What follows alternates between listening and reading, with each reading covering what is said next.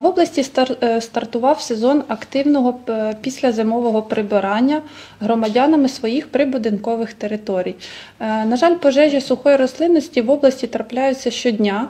Е, Наприклад, це від 4 пожеж до 10 пожеж може бути на добу.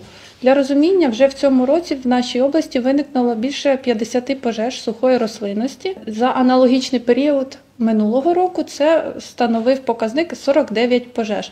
Тобто ми маємо незначний ріст пожеж, але це більше він спричинений теплою погодою, яка в нас стартувала в цьому сезоні. Основними причинами пожеж ми можемо виділити те, що громадяни самовільно випалюють суху рослинність на своїх прибудинкових територіях.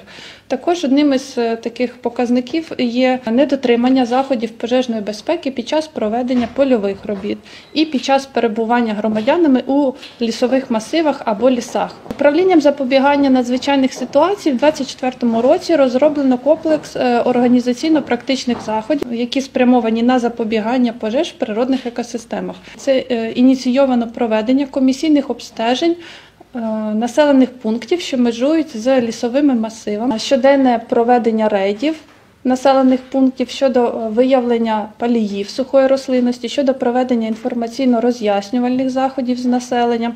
Ми нагадуємо громадянам про адміністративну відповідальність за спричинену шкоду навколишньому середовищу. Активно проводимо заходи з засобами масової інформації, розповсюджуємо е, різну агітаційну продукцію для громадян, населення, суб'єктів господарювання, лісокористувачами. На сьогоднішній день е, представниками головного управління вже проведено більше 700 рейдів, якими охоплено майже кожен населений пункт нашій області. Під час проведення рейдів ми активно залучаємо новітні технології, це такі як безпілотні літальні апарати.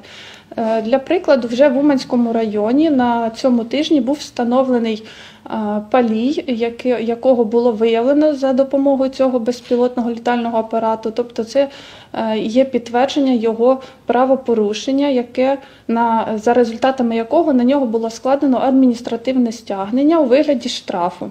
Також для загальної характеристики в Черкаській області за статтею 77.1 Кодексу України про адміністративні правопорушення за самовільне випалювання рослинності або її залишки вже притягнено 5 громадян е, і сплачено суму штрафу більше ніж на 15 тисяч 300 гривень.